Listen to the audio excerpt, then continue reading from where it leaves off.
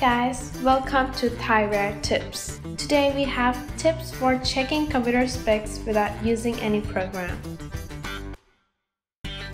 We have two methods in checking spec of the computer.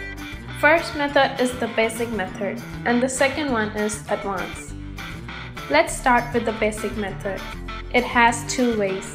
The first way is to right click at this PC and choose Properties. A window will pop up this method is used for Windows XP and Windows 7. For Windows 8 and Windows 10, you should right-click at the Start button, then choose System, then the same window will pop up. The second way is press window and pause on the keyboard at the same time. Then a window will pop up.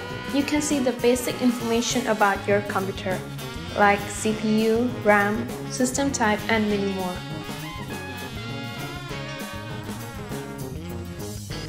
Now let's have a look at the advanced method.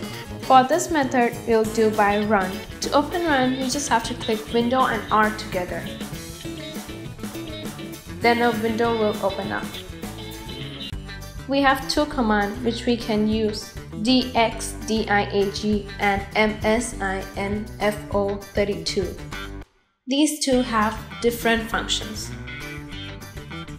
Let's try the first one. DXDIAG is the short form of direct DirectX Diagnostic. This will show us about graphic and direct DirectX information, like display and sound.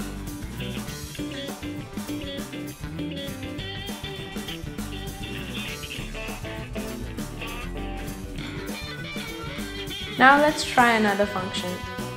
We have to type MSINFO32 in the box. A window will pop up and will show us every detail about the hardware and the software of this computer. This is all the tips for checking computer specs without using any application. But if you want to check the spec of the computer with the program, we would recommend you to use CPU-Z. Thank you.